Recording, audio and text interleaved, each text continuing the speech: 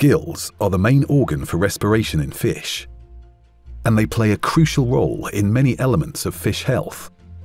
The gill mucosal surface is the largest organ-specific surface that interacts with a fish's external environment. It's often considered the first line of defense against threats, but this also makes it highly susceptible to hazards that may be present in the environment. And due to the close interactions of gills with other vital organs and tissues, compromised gill health carries serious consequences for fish.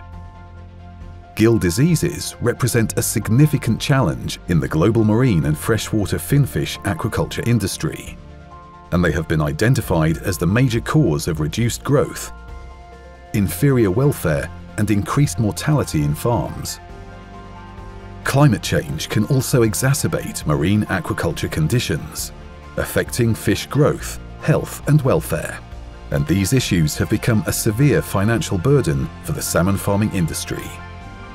In response, the Gill Health Act project is exploring how land-based rearing in RAS is potentially making salmon more susceptible to gill diseases when exposed to them at sea.